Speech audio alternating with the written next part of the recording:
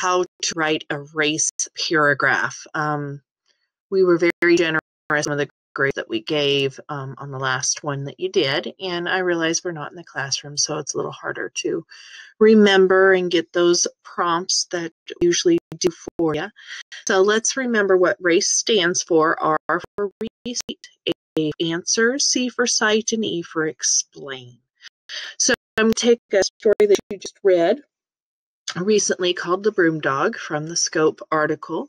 And one of the questions was, What kind of a person is Mr. Munch? Support your answer with details from the story.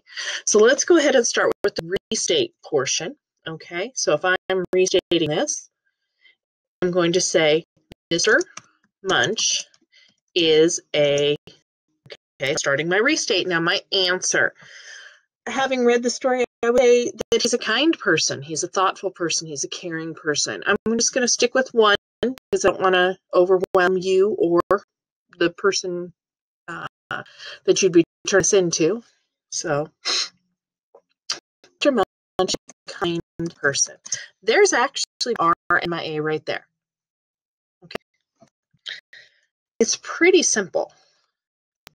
Now, I, uh, according to the story,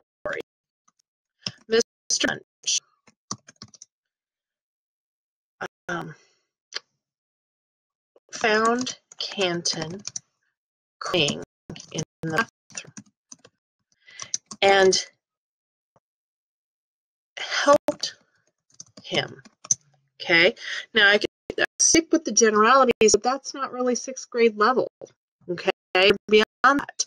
So now we need to cite more specifically. Okay,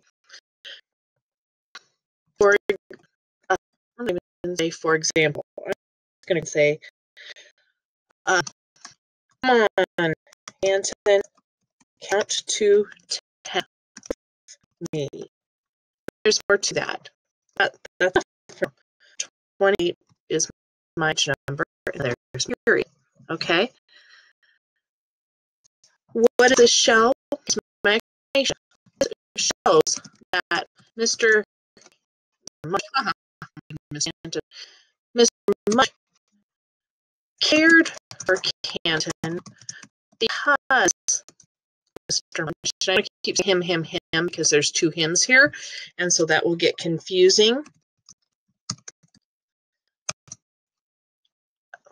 Because Mr. Munch tried to help Canton calm down because Canton was very upset after his mother's accident.